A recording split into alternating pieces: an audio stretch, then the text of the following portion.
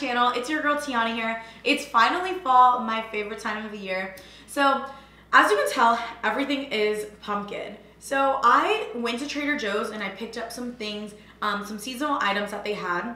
So I wanted to try them here with you guys to let you guys know if it's worth it or not. And then I also wanted to show you guys one of my favorite fall drinks. It's the pumpkin spice margarita and it is so good. I'm so excited to show you guys. So I'm gonna first start off with the margarita. Okay, so I don't have a shaker. So a little life hack, just in case you don't have a shaker, you can use a travel cup and it works perfectly fine. So we're gonna take one ounce of our vodka and put it into our shaker.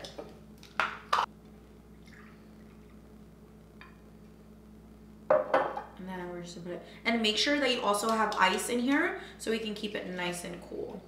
Then we're gonna take one ounce of our pumpkin spice liqueur. And this is so good. This is like one of my favorite things because it kind of tastes like Bailey's, but it's pumpkin spice. And then we're gonna take our coffee liqueur and we're gonna also do one ounce of that.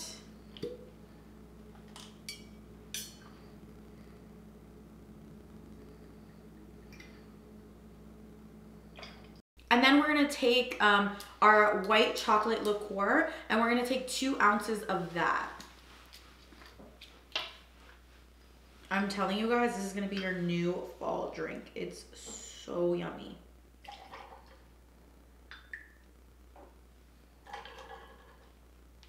Okay, then my favorite thing, we're gonna shake it up. Make sure you shake it up really good.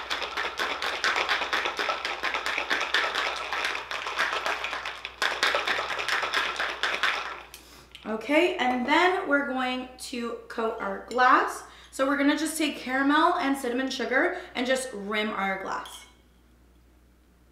And this is honestly my favorite part because it makes it, it just makes it look so cute and so festive. And then I kind of like to just like pat the sugar on because then it won't drip. The caramel won't drip. Okay. So then it should look like this when you're done. We're just gonna open the travel cup. We're just gonna pour it in there.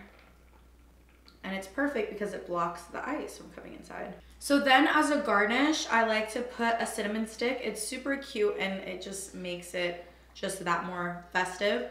And then enjoy guys.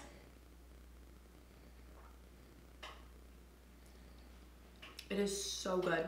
So now to start for the Trader Joe's seasonal items. First, we're gonna start off with the pumpkin empanadas. And I think that these are gonna be interesting because um, I've never seen pumpkin empanadas and empanadas are like my favorite things. So it says to preheat the oven to 350 and then um, wait for 15 to 20 minutes. So let's go do that. It's finally done. All right, you guys can like see how it looks like inside. All right, so it looks like, like it's almost like sweet potato kind of like texture. Okay, so I'm gonna try it.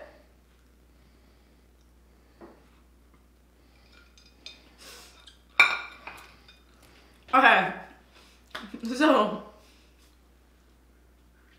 so I'm not gonna knock it, but if you like sweet potato and you like that like consistency, but pumpkin, then you'll like this. For me, the texture inside just tastes a little bit weird for me. So I'm gonna have to give it a one. I'm, I'm gonna, I don't like it. So I'm not gonna try the next one because I've already tried it and it is one of my favorite. Um, this butternut squash mac and cheese and this is one of my favorite, like top down 10 out of 10, you need to try it. So the next thing that I'm gonna try is the pumpkin spice pretzel slims. And I was actually excited to get these because I love pretzels. So when I saw them, I was like, let's see if they're good. So it says that it's with um, crushed pumpkin uh, spice pumpkin seeds. So let's try them.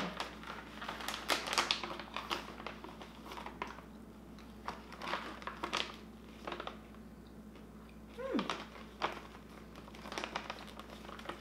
Okay. These are actually quite good. I can definitely see myself getting these as a snack on to go. Um, these are actually really good. It has like a nice drizzle of caramel and these are really good. I'll give these a 9 out of 10. For sure, you should probably go try these. So the next one I'm gonna try, I'm really excited about because I'm more of an apple person. I love apple pies, apple desserts. So the next one that I'm gonna try is the rustic apple tart. And it says to cook for like 25 to 30 minutes. So we did that. And let's try.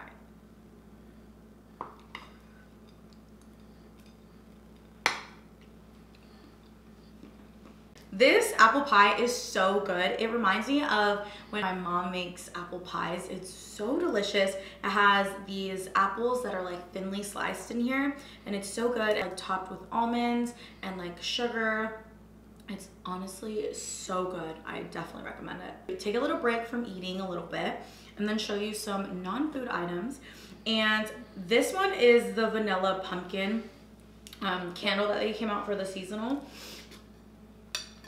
This one is one of my favorites. Like I am more, when it comes to candles, I'm more of like a rosy, as you can see from my last video that I did um, about the diptyque candles. I was more like about rosy, like the rosy scents, um, the more uh, fruity kind of scents. This scent is literally, it just screams fall. It has like a, like almost like a vanilla rustic kind of smell and then a hint of pumpkin. It smells so good. I'm definitely going to be lighting this up. And then they also had the Honey Crisp apple, which I was, ex I didn't smell these inside the store because I had my mask on, so I just wanted to get them just to see because can't go wrong with candles for, for fall. So this one is way more fruity.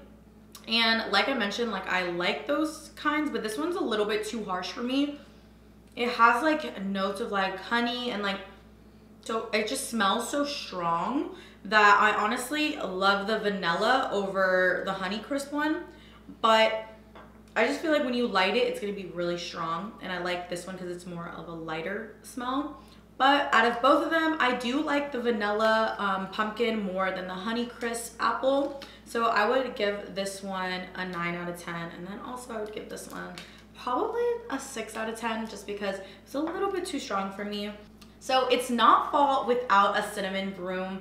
These smell so good. These are my favorite. I always need to get them every fall because it just gets you in the fall spirit. So with these, it works best when you have a smaller area. So if you have a bigger area, I would suggest having one of these brooms in every room because it only really um, covers a small area um, but nonetheless, this is a 10 out of 10. This is amazing. You need to have this in order to complete your fall decor. So next, we have the pumpkin um, pancake and waffle mix. I'm not gonna try this now because I wanted to try it in the morning, um, but this um, video will come out in two days. So by that time, I will have already tried this with the Vermont um, maple syrup and the cinnamon bun spread that they said goes good together. Um, so I'll let you guys know, but I mean, pancakes are always good and waffles, so I'm pretty sure it'll be good. So the last thing I picked up is the maple and sea salt kettle corn and I am obsessed with kettle corn. Every time that I go to fairs, I always have to get kettle corn. It is one of my favorites. So let's try this.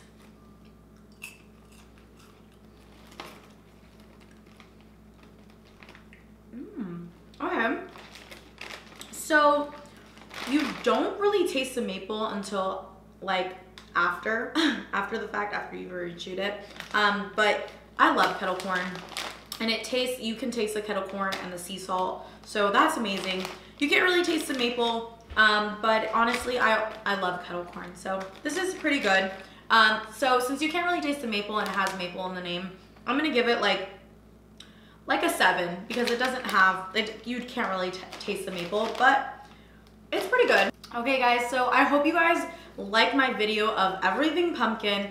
And if you guys want to see more videos like this, make sure to hit that thumbs up. If you haven't already, make sure to hit that subscribe button and that notification bell so you're notified whenever I post. I'm gonna go enjoy my drink and enjoy the nice weather outside. Bye guys. Don't say it. Okay, go. Did you just say go? Mm-hmm. But I didn't. I. okay, let's go.